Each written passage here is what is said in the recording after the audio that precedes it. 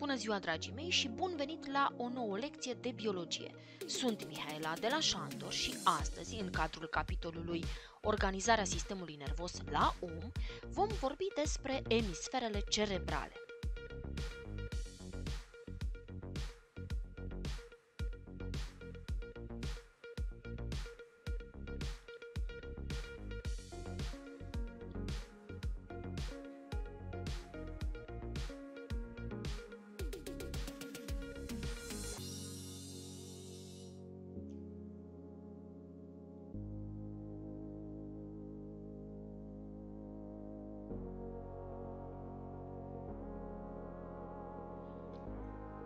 Emisferele cerebrale, alături de trunchiul cerebral, cerebel și diencefal, alcătuiesc encefalul, componenta sistemului nervos central, localizat în cutia craniană. Iată, observăm aici emisferele cerebrale, care reprezintă partea cea mai voluminoasă a encefalului. Iată, le putem contura și, într-adevăr, putem observa că sunt partea cea mai voluminoasă a encefalului.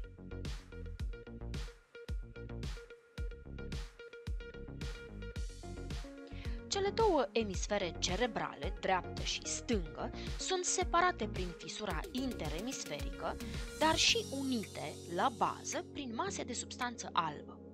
Suprafața emisferelor este brăzdată de numeroase șanțuri, două dintre acestea fiind șanțuri adânci. Iată, șanțul central Rolando și fisura laterală Silvius. Aceste șanțuri adânci delimitează lobii, lobul frontal, lobul parietal, lobul temporal și lobul occipital.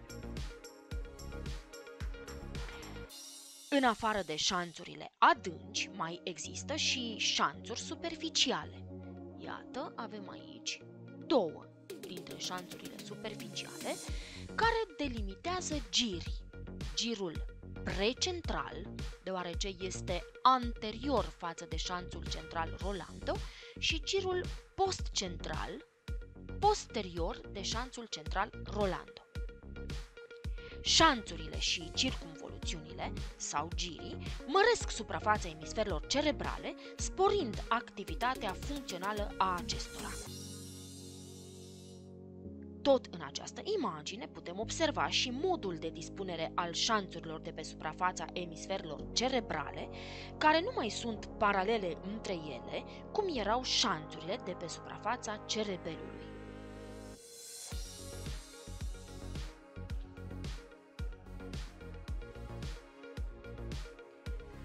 Alcătuirea internă a emisferelor cerebrale putem observa două tipuri de substanță, și anume substanța cenușie, dispusă la exterior sub formă de scoarță cerebrală și nuclei cerebrali, și substanță albă, dispusă la interior sub formă de fibre de proiecție, comisurale sau de asociație.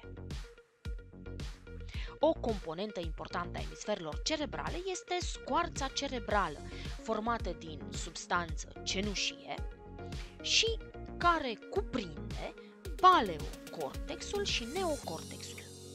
Paleocortexul este o zonă restrânsă pe fața medială a emisferelor cerebrale, alcătuit din două straturi celulare.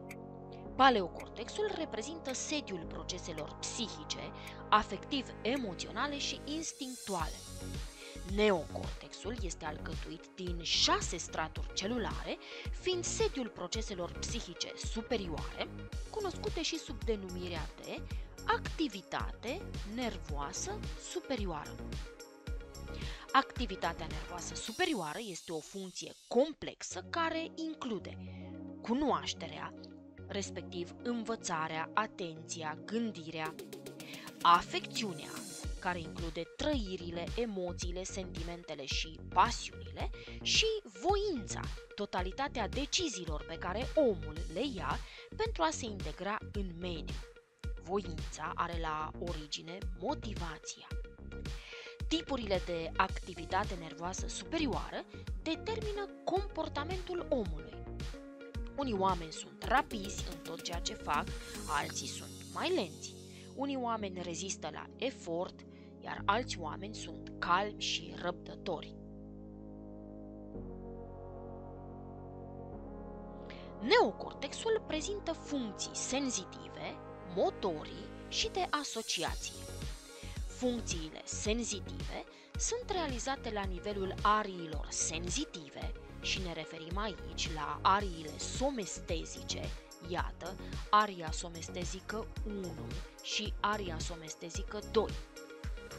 Aceste arii sunt sediul formării senzațiilor tactilă, termică, dureroasă și tot aici se realizează și simțul mișcării și al poziției corpului în spațiu.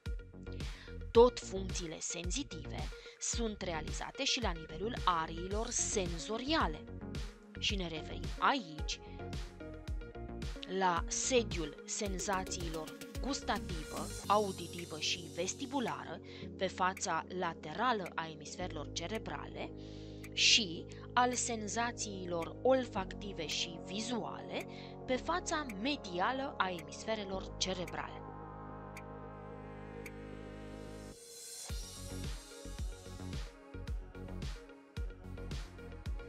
Funcțiile motorii sunt realizate la nivelul ariilor motorii. Acestea reglează motilitatea voluntară, rapidă, precisă și coordonată a musculaturii scheletice. Putem observa în această imagine aria motorie principală, care deja împreună poate fi localizată. Ia să vedem. Spuneam că aici este șanțul central Rolando și aici avem girusul precentral.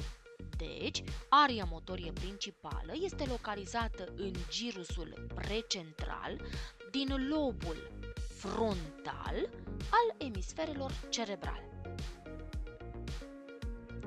Ariile asociative asigură conexiunile dintre diferite zone corticale. Zonele asociative motorii dirigează mișcările învățate pe parcursul vieții, cele care se formează prin educație și ne referim aici la zona asociativă a vorbirii, zona asociativă a scrisului.